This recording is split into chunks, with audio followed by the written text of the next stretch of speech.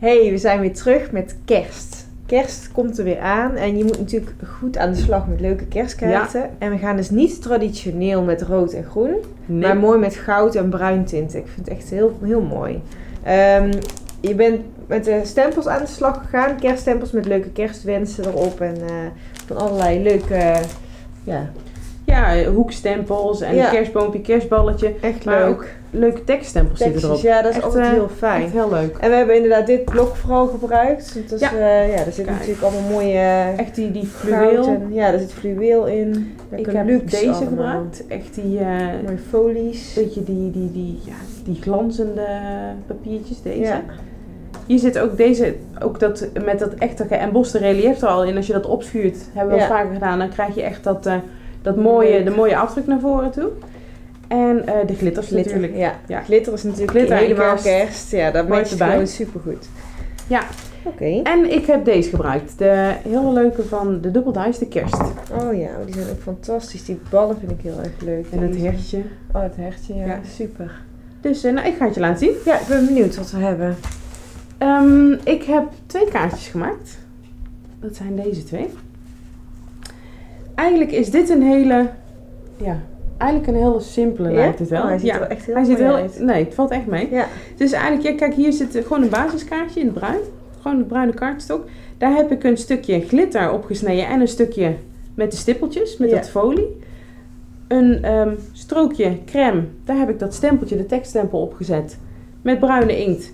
En dan heb ik de Double Dice deze. Oh ja, die sneeuwvlokken. De sneeuwvlokken. Die stand je uit met je standsmachine. Oh ja. Daar haal je alle Stukjes. stukjes tussenuit. Kijk. Het is altijd een beetje een gewurm, Uiteindelijk- maar... eh, Wordt die helemaal open. Ja, als je nou ehm, het, je, je, je afdrukje erin hebt zitten. ja. Dat wil nog wel eens gebeuren. Er zitten aan de achterkant zitten er al gaatjes in. gaatjes. Ehm, let heel even op. Dat, je kunt ze er heel makkelijk uitprikken. Maar als je ze eruit prikt.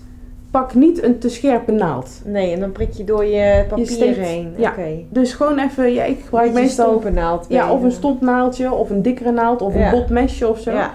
Iets waar je er niet meteen doorheen prikt. Want het is zonde. Moet je weer overnieuw. ja.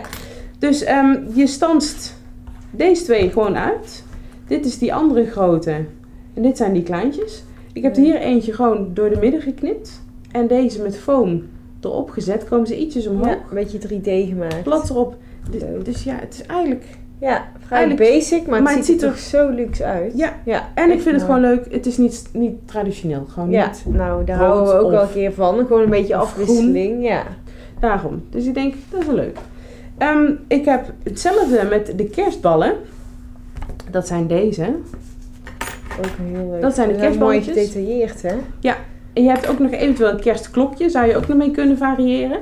Ehm, ik heb hier een keer niet standaard alles op de buitenkant geplakt. Ik heb een, eh, gewoon een vierkant kaartje, pakje. Daar snij je of daar ehm, teken je eerst aan de binnenkant gewoon een kader in en dat snij je uit. Dan hou je, als het ware, dit over. Dus Ja. dan krijg je hem gewoon uitgesneden. Dan heb je dus... venster. Ja, Ja.